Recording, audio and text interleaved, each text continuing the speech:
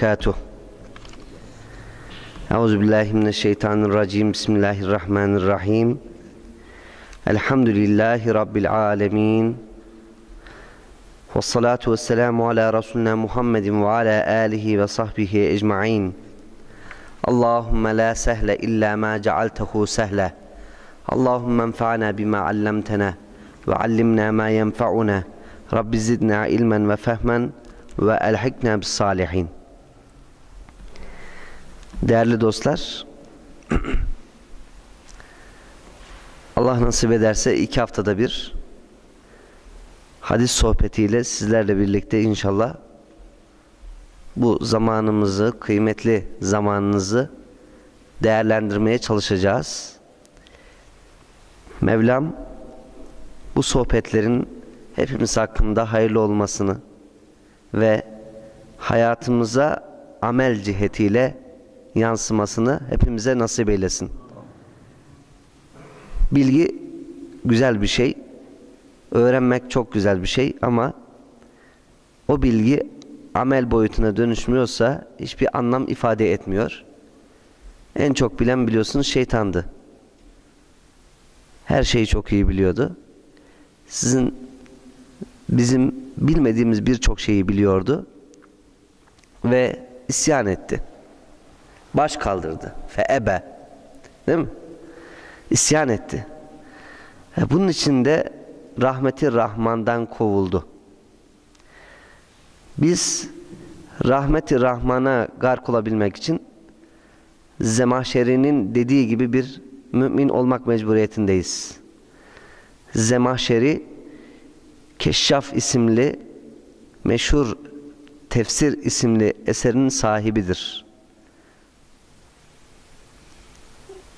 Araplara Arapçayı öğreten bir ilim adamıdır Zemahşeri. Araplara Arapçayı öğreten bir müfessir ilim adamı. Onun hakikaten çok veciz bir sözü var. İki kelime. Sadece o iki kelime içinde bir harfin yerini değiştiriyorsunuz. Mükemmel bir cümle kurmuş.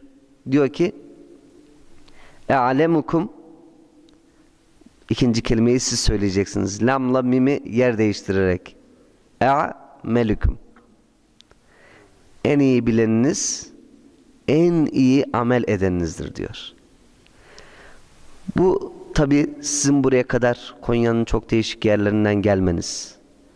Fıkıh ve hadis sohbetlerine, tefsir sohbetlerine katılmaya gayret göstermeniz hakikaten bu ameli işlediğinizi gösteren en önemli göstergelerden bir tanesi.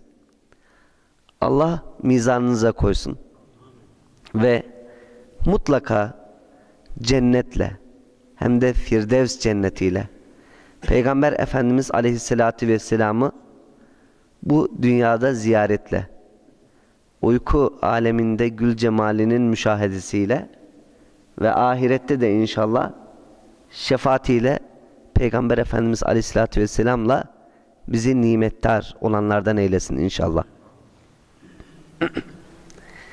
Bu dersin ismini ben Levamul Okul dersleri olarak koymak istiyorum. Dersin başlığı böyle olsun. Levamul Okul nedir? Nasıl bir eserdir? Onunla alakalı bilgi vereceğiz. Malumunuz Türkiye'de uzun yıllar Ramuz diye bildiğiniz Ramuzul Ehadis dersleri okunurdu. Adet haline gelmişti. İstanbul merkez olmuş ve değişik camilerde, değişik evlerde herkes bu sohbete devam etmişti. Ve gerçekten güzel bir nesil yetişti. Bu sohbeti başlatanlardan, okuyanlardan ve oralarda hizmet edenlerden bu sohbeti dinleyip nasiptar olanlardan Allah razı olsun.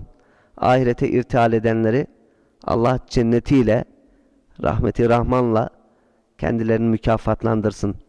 Bizler de bu dünyadan göçerken son nefesimizde kelime-i şehadetle Eşhedü en la ilahe illallah ve eşhedü enne Muhammeden abduhu ve rasuluh diyerek hepimize inşallah çene kapamayı nasip ve müyesser eylesin.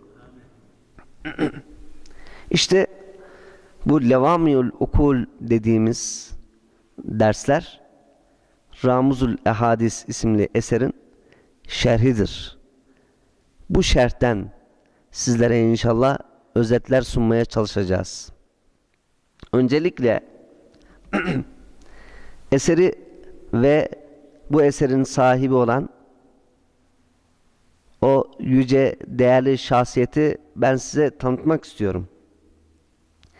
İslam tarihinde, hadis tarihinde hadis kitaplarını ve alimlerini tanıtan eserler kalem alınmıştır. Tarih Funul Hadis gibi.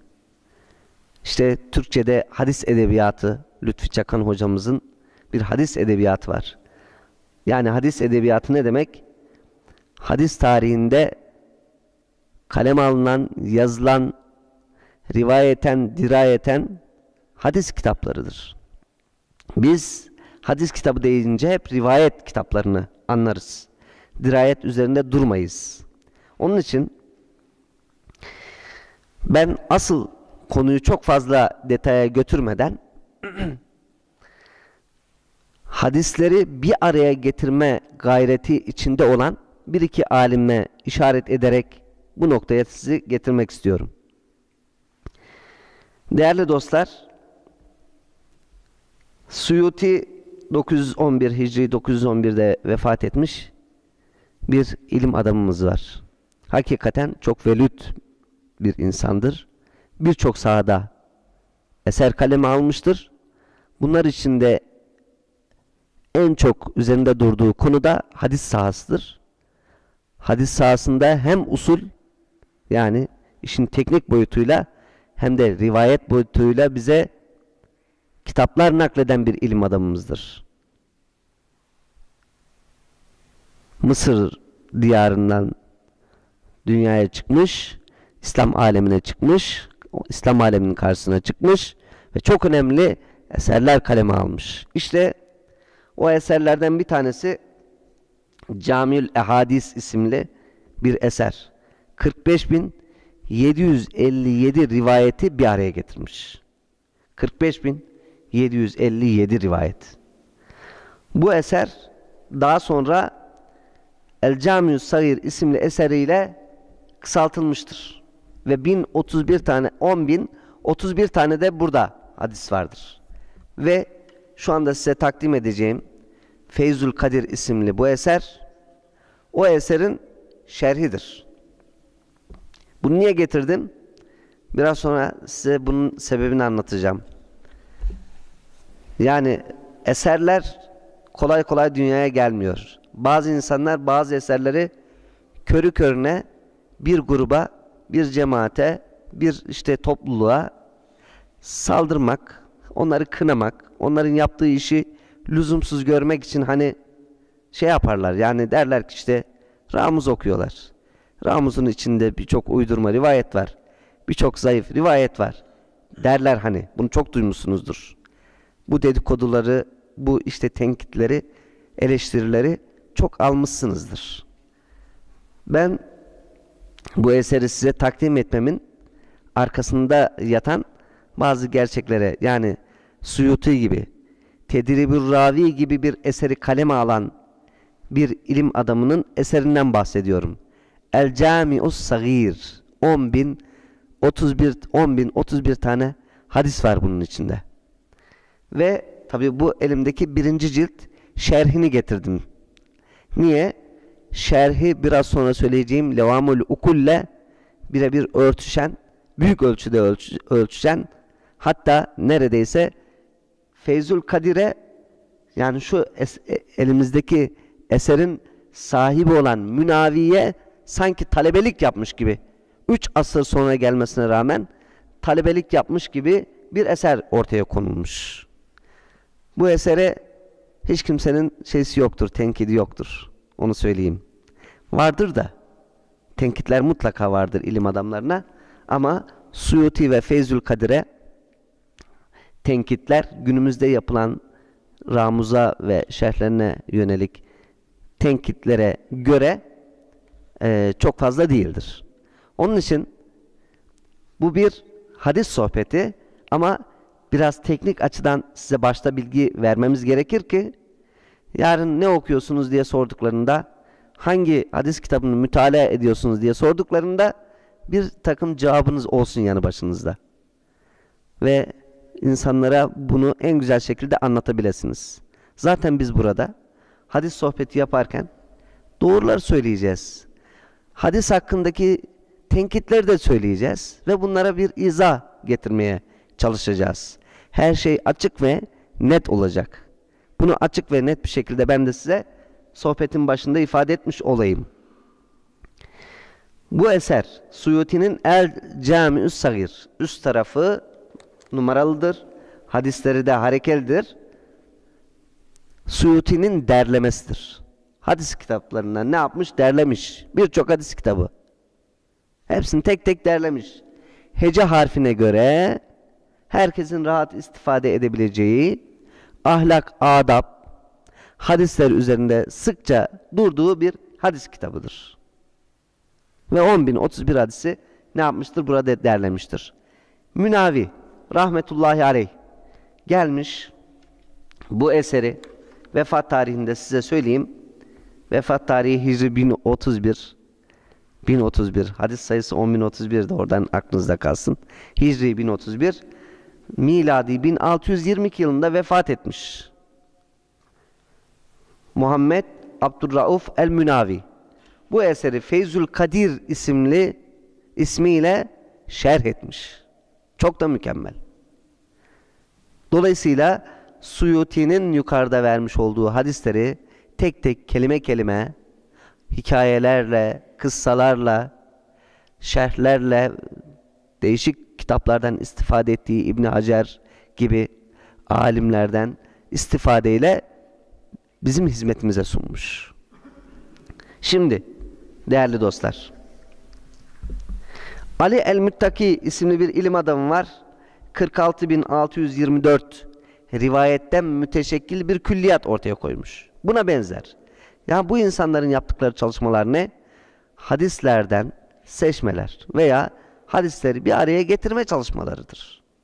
Cem çalışmalarıdır. Bunlar ta Ebu Hureyre dönemlerinde yaşamış ilim adamları değil. Hicri 200'lü yıllarda yaşamış ilim adamları değil. Onlardan 7 asır sonra gelmiş ilim adamları bunlar. Onlar onların derlemiş olduğu kitaplardan seçmeler yapmış, bir manzume oluşturmuş, muhataplarının karşısındaki hedef kitlenin bu eserlerden rahatça istifade etmelerini sağlamışlardır. Bunun için mücadele etmişlerdir. Ve bize hazır bir lokma sunmuşlar. Ezberleyebilmem, ezberleyebilmek için. Başka? En iyi şekilde amel edebilmek için. Her gün başucumuzda bulunsun da bu eserlerden fayda, faydalanabilmemiz için. Dertleri oymuş.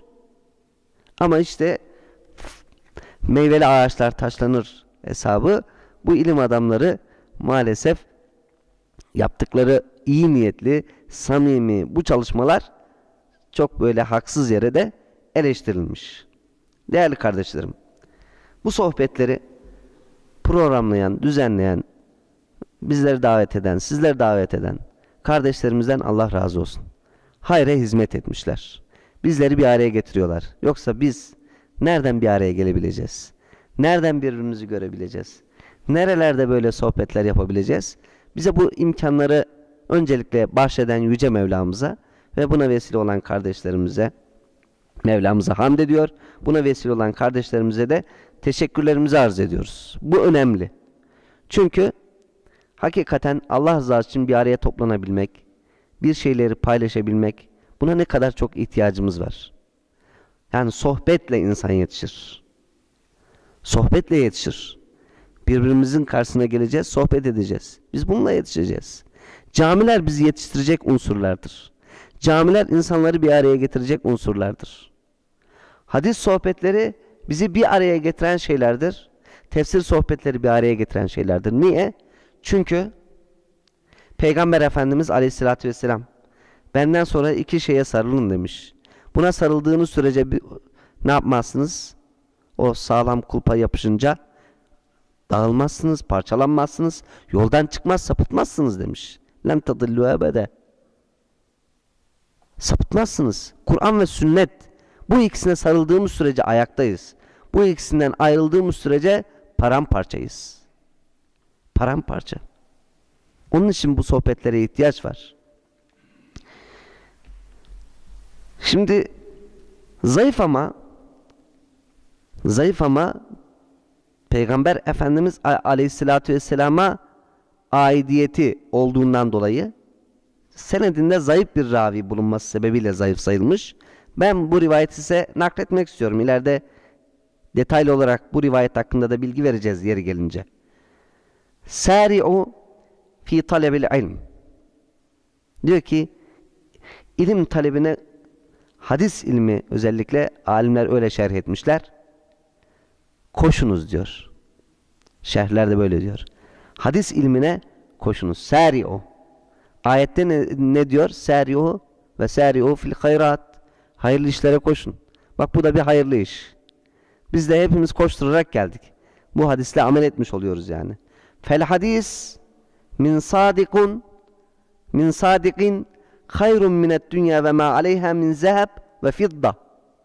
Diyor ki sadık birinden hadis almak. Tabi biz burada kendimizin sadık olduğunu ifade etmek istemiyoruz. Bu ravilerle alakalı olan bir husus.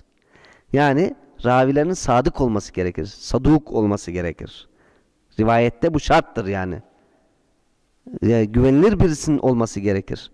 Onun için biz hadislerde hani sahih hadis, zayıf hadis, hasen hadis diyoruz ya. O açıdan önemlidir bu ifade. Sadık kişiden aldığınız hadis hayrun minet dünya ve ma aleyha min zeheb ve fidda diyor. Peygamber Efendimiz Aleyhisselatü Vesselam dünya ve üzerindeki altın gümüşten daha kıymetlidir. Daha kıymetlidir. İşte bu hadis mucibince biz bu sohbetlere katılıyoruz. Ve bu sohbetlerden inşallah elimizden geldiğince istifade etmeye çalışacağız. Bu rivayet Et-Tedvin fi Akbari Gazvin e, isimli eserde Rafi'indir bu eser. Cabir radıyallahu anh'ten nakledilmiş. Şimdi Peygamber Efendimiz Aleyhisselatü Vesselam'ın ben hadis sohbetlerinin aşağı yukarı her birinde bu hadisi hatırlatıyorum, hatırlatmak istiyorum. Çünkü bunun anlamını toplumumuza yerleştirmemiz lazım. Peygamber Efendimiz Aleyhisselatü Vesselam minberimle evim arasında kalan kısım cennet bahçesinden bir bahçe diyor. Minberi neresi? Aynen mescidin bir köşesi. Evi neresi? Mescidin diğer köşesi. Orada ne yapılıyor? Şu anda bizim yaptığımız iş yapılıyor. Anlatabildim mi? Oraya ne demiş Peygamber Efendimiz? Ravdatun min riyadıl cenne. Cennet bahçesinden bir bahçedir demiş değil mi? Niye dedi peki? Şimdi bunu başka bir hadisle açıklamak istiyorum. Peygamber Efendimiz bir gün demiş ki İrta'u min riyadil cenne. Cennet bahçelerinden otlayınız demiş. İstifade ediniz. Yararlanınız. Ebu Hureyre sor, sormuş. Ve ma riyadul cenne ya Resulallah? Nedir o cennet bahçesi? Dünyada cennet bahçesi mi var? Nedir o cennet bahçesi diye sorduğunda Peygamber Efendimiz Aleyhisselatü Vesselam mecalisül ilm ve zikir bir rivayette el mesacit diyor. Mescitler, ilim, zikir halkaları, ilim, zikir oturumları, meclisleri. Böyle ifade ediyor Peygamber Efendimiz. Şu halde Ravza diyebildiğimiz yerde insanlar iki rekat namaz kılabilmek için birbirine dirsek vuranı mı ararsın? İteni mi ararsın? Orada birbirine kötü sözü söyleyeni mi ararsın? Nerede cennet? Ben orada açık ve ne söyleyeyim? Bu manzara karşısında cennet kokusu almakta güçlük çekiyorum. Nerede o cennet kokusu? Var mı? Yok. Müminin mümine müsamaha gösterdiği yerde, birbirine yer açtığı yerde, birbirine buyur dediği yerde yer açın ki Allah size yer açsın diyor ayet. Yer açtığı yerde cennet vardır. Burası işte bu mescit cennet bahçelerinden bir bahçedir. İmamından, cemaatinden, bu cemaate, bu camiye koşanlardan Allah razı olsun. Her biri cennet hizmetçisi, cennet gönüllüsü oluyor. Bulunduğunuz her yeri cennet bahçesine çevirebilirsiniz. Yeter ki ilimle, zikirle uğraşın. Yeter ki işiniz gücünüz bu olsun. Tabii ki Medine'de Peygamber Efendimizin çizdiği o alanda bulunmak çok güzel. Ama her birimizin bulunma şansı var mı? Her birimizin oraya gitme şansı var mı? Lütfen bulunduğumuz her alanda bir cennet bahçesi oluşturalım. İlim meclisi oluşturalım. İlmi yayalım, cehalet karanlığı, zulmeti ortadan kalksın. Ortadan kalsın. İnsanlar bildikçe, öğrendikçe, güzel şeyleri yaptıkça toplumda bu güzellikler artacaktır. Kıymetli dostlar. Şimdi bir rivayete da temas ederek konunun önemi, bu hadis sohbetlerinin önemi hakkında bir rivayete de temas ederek ben eserimizi kısaca bir tanıtmak istiyorum size ve sahibini. Ve bu haftaki sohbetimiz bu çerçevede geçmiş olacak. Önümüz haftadan itibaren inşallah önümüz hafta derken e, önümüz hafta Orhan Çeker hocam var. 15 gün sonra tefsir sohbetinden sonraki bir hafta sonra inşallah hadislerimiz devam edecek. Bakınız kâme Resulullah sallallahu aleyhi ve sellem bil kayf minen bil kayfi min minen Mina'da Kayf Mescidine gittiniz değil mi? Hacca giden kardeşlerimiz. Ziyaret ettiniz. 70 civarında peygamberin uğrak yeri. Bir rivayette kabirlerinin bulunduğu yer deniliyor. 70 civarında peygamber uğradı yani burada kaldı. Kabirleri burada denilen yerde. Peygamber Efendimiz ayağa kalkıyor fekal ve diyor ki Naddarallahu mra'an semi'a mekaleti feve'aha sümme eddâha ila men lem yesma'ha فرب حامل فقه لا فقه له ورب حامل فقه ila men huve efkahu min. Ne kadar güzel. Şimdi kameramandan tutunuz şurada bulunan bütün kardeşlerimize varıncaya kadar. Niye önce onu söylüyorum? Çünkü o yaymaya vesile oluyor. Yayacak. Herkese dağıtacak şimdi bunu. Bu sohbeti. Başta onun yüzü ayaracak. Biz de ailemize gittiğimiz zaman ailemize, komşularımıza, yakın çevremize, arkadaşlarımıza, belki mail yoluyla ulaştırdığımızda bütün çevremize aktardığımız sürece naddarallahu ra'en Allah bir insanın yüzünü ağarsın diyor. Hadisçilerin yüzü ağaracak. Ağaracak yani. Müjdeliyor. Peygamber Efendimiz dua ediyor. Allah yüzünü ağarsın diyor. Niye? Bakın naddarallahu ra'an demiş. Allah yüzüne ağarsın bir kişinin. Kim o kişi? Semi'a makaleti. Makale Türkçe'ye geçmiş bir ifadedir. Yazı yazıyorsunuz ya. Sözleriniz yani. Makale. Kal kelimesinden türetilmiş. Makale. Benim sözümü işitip feveahe onu kafasında beyninde tutabilen muhafaza edebilen vi'a kap demektir Arapçada. Onu bir kapta tutabilen uçurmayacaksınız yani. Bakın şu hadiste canlandırarak anlatıyorum ki aklınızda kalsın. Hadisi ne yaptık? Duyduk. Duyduğumuz şekliyle ne yapıyoruz? Kapta ak akıl kabımızda e, yani hatıramızda, hafızamızda onu muhafaza ediyoruz. Sümme eddaha eda ediyoruz. Kime? İlâ men lem yesma'ha. Onu duymayana. Duymayana götürüyoruz. Ona ulaştırıyoruz. Ve diyoruz ki bak Peygamber Efendimiz ne güzel söylemiş. Naddar Allahum ra'an demiş. Allah yüzüne ağarsın. Ne yapıyorsunuz siz? Sorumluluğunuzu atıyorsunuz üzerinden. Bunu aktarıyorsunuz. O da bir başkasına aktarıyor. Sizin yüzünüz ağrıyor. O aktarırsa onun da yüzü ağrıyacak. Ne kadar güzel.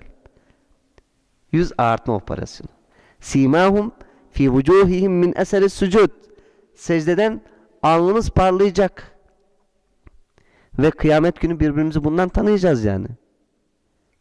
Bu dünyada da zaten tanıyoruz. Alnı secdeye giden insanları hemen tanıyoruz. İşte bu tamam namazına düşkün, namazını kılan bir insan diye karşıdan biliyoruz. Ahirette bu daha çok parlayacak. Gurran muhaccelin. Abdest azalarımızın değdiği yerler parlayacak. Ebu Hureyre ta buraya kadar yıkarmış. Peygamberimizden duymuş ya bunu. Abdest azaları parlayacak diye ve her birinden günahlar tek tek dökülecek. Yüzümüzü yıkayınca yüzümüzden, kollarımızı yıkayınca kollarımızdan, hatta parmak uçlarından böyle şapur şapur günahlar dökülecek. Suyun döküldüğü gibi. Abdestle. Ve aynı zamanda parlayacak. Bundan daha güzel bir şey olabilir mi? Abdestle parlıyor, namazla parlıyor. Hadis okuyorsunuz, hadisle parlıyor. Ve mümini gördüğünüz zaman içiniz açılıyor. Yüzü parlıyor. Sizin de içiniz açılıyor. Şimdi ne diyoruz biz? Karanlık bir ortamda, loş bir ortam güzeldir. Bazen hani ayrı bir zevk alırsınız da. Ama şöyle yüzlerimizi bir net görelim deriz değil mi? Aydınlık bir ortam. İçiniz açılır şöyle. Hava bulutluyken mi mutlusunuzdur? Hava açıkken mi? Hava açıkken değil mi? Bulutlu olduğun zaman canınız sıkılır, ruhunuz daralır. İşte arkadaşlarımız, kardeşlerimiz, dostlarımız bizim için bir güneş. Yüzümüze baktığı zaman hemen içimiz ısınacak. Mutlu olacağız. Hadis zaten bunu söylüyor. Hadisler bunu ifade ediyor bize. Onun için değerli kardeşlerim mutlaka duymayana bunu ulaştıracağız. Niye? Sebebini Peygamber Efendimiz söylüyor.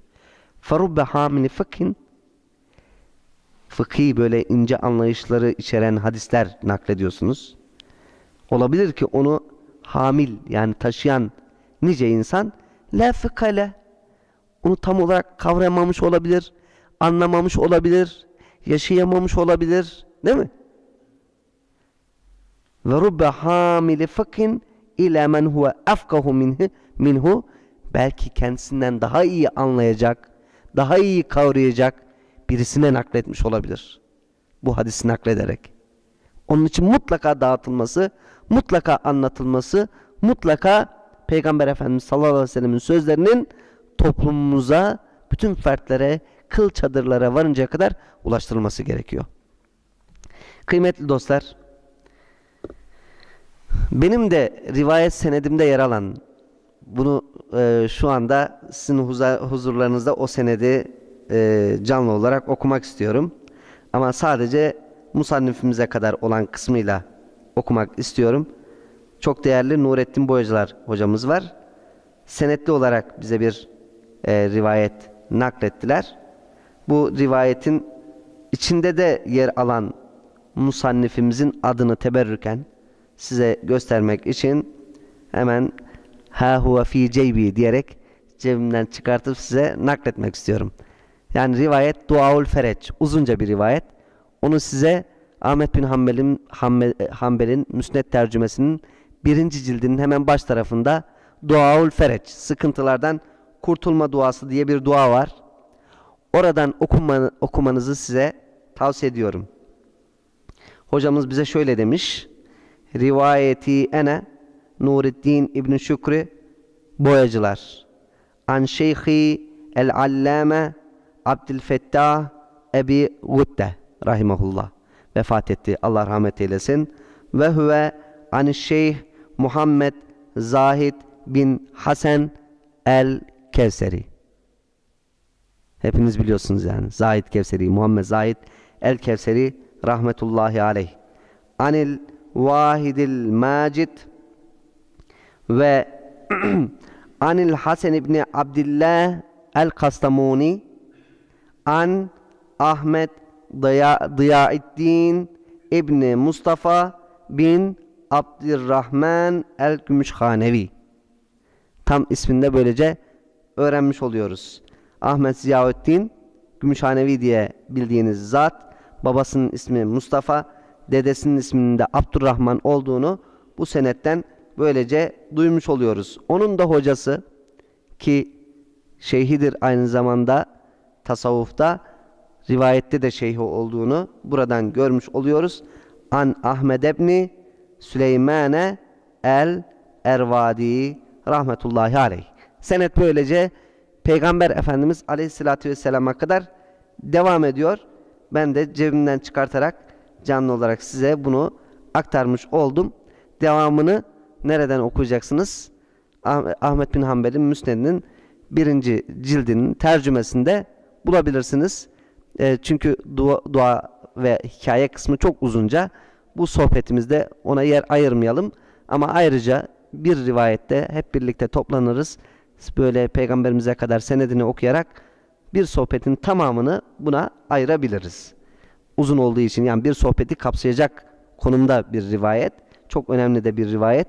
O duayı da böyle yanı başınızda taşımanızı e, sizden istirham edelim. Mutlaka yanınızda bulunsun. Sıkıntılarınızı, dertlerinizi, musibetlerinizi inşallah bununla atmış olursunuz. Evet. Ahmet bin Muhammed Ziyaüddin Gümüşhanevi Hazretleri değerli dostlar 1813 yılında Gümüşhane'de Hicri 1228'de Gümüşhane'de doğuyor. Bakın 4 veya 5 yaşlarında 4,5 yaşlarında Kur'an-ı Kerim'i tecvidle okuyor. Demek ki çocuklarımıza o yaşlarda tecvidli böyle Kur'an-ı Kerim öğretmiş olmamız gerekiyor. 8 yaşında da hafız oluyor. 8 yaşında. Aramızda Şahabettin hocam mı geldiğini görmüştüm bir ara. Ben de ondan bu hadisi duydum. Yani e, ve çok da hoşuma gitti. E, Hazreti Ali radıyallahu anh'ın Peygamber Efendimiz aleyhissalatü vesselam'dan naklettiği bir rivayet olarak aktarmıştı. Ben de burada aktarmış olayım çünkü önemli. Çocuğun 7 artı 7 artı 7 ilk 21 yılını özetleyen bir rivayet bu. Ve bize de hakikaten çok önemli bir ders veriyor. Diyor ki ilk 7 yılda çocuk nedir? İlk 7 yılda bakın. Emirdir. Ne emrederse çocuk yapıyorsunuz. Bebekken ağlıyor, annesi meme veriyor. Öyle değil mi? Estağfurullah.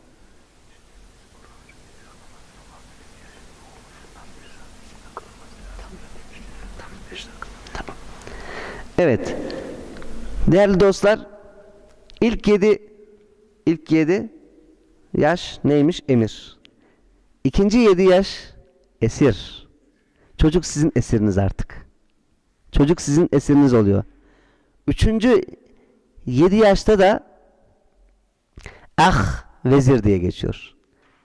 Yani yanı başında her zaman yanı başınızda taşıyacağınız 14-21 yaş arası. Yavrum bu konuda sen ne dersin? Senin vezirin olacak yani. Ama 7 ile 14 arasını senin esirin olması lazım. Hafız mı yetiştireceksin? Hafız yetiştireceksin.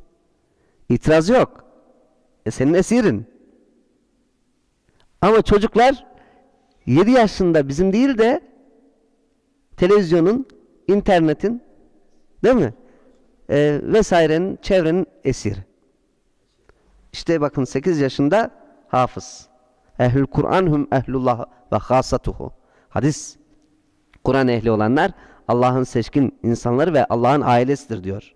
10 yaşında babası Mustafa Efendi Trabzon'a yerleşiyor. Babasına dükkanda yardım ederken Arapça öğreniyor, sarf nahiv öğreniyor. 14 yaşında amcasıyla alışverişe gelip İstanbul'da kalıveriyor. Niye? Gönlü yatkın oraya. 1827 yılında gelmiş. Ve Bayezid ve Mahmut Paşa medreselerinde hemen öğrenciliğe başlıyor ve Bayezid medresesinde genç bir yaşta hoca oluyor. Ve daha sonra Trablus Şam müftüsü Ahmet e, Ziyaüddin Ahmet bin Süleyman el-Ervadi biraz önce senette geçmişti. Onunla karşılaşıyorlar. Özel gelmiş. Sırf onu yetiştirmek üzere ve 16 yıl terbiyesinde kalıyor. İrşat vazifesini alıyor 1844 yılında Ayasofya Camii'nde talebesi Hasan Hilmi Efendi ile birlikte Kastamonu'dur. Ee, ondan ders alıyorlar. Ve 1860'te 63'te yine talebesi Hasan Hilmi Efendi ve diğer arkadaşlarıyla birlikte padişahın özel tahsis etmiş olduğu bir vapurla ne güzel böyle bir vapurla haç yolculuğuna gidiyorlar. Değerli dostlar, tabi vaktimiz daraldığı için ben hemen özet olarak buraları geçiyorum. E, hayat hikayesiyle bugün tamamlamış olacağız. İskenderiye'de 3, Kahire'de tam 30 gün kalmışlar. Küçük Aşık, Aşık isimli bir talebesi varmış. Orada irşat için bırakmış. Hacca giderken birini bırakmak ne kadar şeydir. Onun hesabını yapın yani şu teslimiyete bakın. Haccı tabi ifa ediyor. Medine'de 11 gün kalıyor ve 11 günde Ravza'da kalıyor. Öyle otel motel biz şimdi bir gittik mi kavgasını yapıyoruz. Allah bize kolaylık versin. Öyle değil mi? Hacı rafıklarımız var, umre rafıklarımız var aranızda. Biz işte kavga yapıyoruz yani bizim tabiatımız kurusun. Biz böyleyiz. Ama e, e ehli tasavvuf olan insanlar, hayatına İslam'ı nakşeden insanlar böyle bir hayat sürmüşler. Ve bu eserin e, burada takip edeceğimiz eserin planlamasını orada yapıyor. Peygamber Efendimizin adeta dizinin dibinde yapıyor. İstanbul'a dönüyor ve 1865-75 yıllar arasında tam 10 yılda eserini tamamlıyor. 10 yılda. Tabi 1877 yılında biliyorsunuz 93 Harbi var. Ruslarla yapılan harp. Kafkas cephesinde talebeleriyle birlikte gidiyor. Cihad ediyor. Kendisinin zaten Kitabul Cihad isimli, Fezail Cihad isimli eser de var. Yani cihadın faziletini anlatmış ki talebeleriyle birlikte cihada katılıyor. İkinci hac seferinde Medine muhafızı Emin Paşa'nın kızı ile onun kerimesiyle Seher Hanım'la evlenmişler. Dönüşte Mısır'da kalıyor 3 yıl. Bu 3 yıl zarfında biraz önce söylediğim Azdavaylı, Kastamonu dediğim Azdavaylı Hasan İlmi Efendi e, İstanbul'da vekaletini yürütüyor. Ve 25 Mayıs 1893 yılında 7 Zilkade 1311 Pazar günü İrciye ile Rabbiki radiyeten merdiye emrine muhatap olarak o da e, Allah'tan razı Allah da onda ona e, e, o Allah'tan razı yani e, rıza göstermiş. Allah da ondan razı bir haldeyken e, Rabbinin huzuruna dönmüş oluyor ve son sözler olarak da hepsini isterim ya kibriya diye böyle bir şeysini de burada anmadan geçemeyeceğiz. Kabri şu anda Süleymaniye camimizin e, ve hemen Kanuni Sultan Süleyman'ın yanı başında e, birlikte yatıyorlar. Zaten talebelerinden biraz önce söylemiş olduğum e, Hasan Hilmi Efendi ve diğerleri hemen yanı başlarında yatıyorlar. Yani 116 tane bizzat irşatta görevli talebe yetiştirmiş. 60 civarına da eser bırakmış. Bunlardan işte en önemlisi de bu Ramzul Ahadis ve Şerhi Levamul Ukul'dur. Biz Levamul Ukul'u inşallah gelecek e, derslerimizde sizlere aktarmaya çalışacağız. Öyle bir kütüphanesi varmış ki Allah bize de böyle bir kütüphane nasip etsin. 18 bin cilt fiha kütübün gayyime. Değerli kitapların bulunduğu ayet böyle diyor. Fiha kütübün gayyime diyor ya. Değerli kitapların bulunduğu bir kütüphaneye sahip imiş. Bizleri kendisine e, tabi olan güçlü haleflerinden eylesin. Dinin, diyanetini en güzel şekilde anlatanlardan eylesin. Mevlam bizi burada toplandığımız gibi kıyamet gününde Peygamber Efendimiz Aleyhisselatü Vesselam'ın Livaul Hamd sancağı altında cem eylesin inşallah.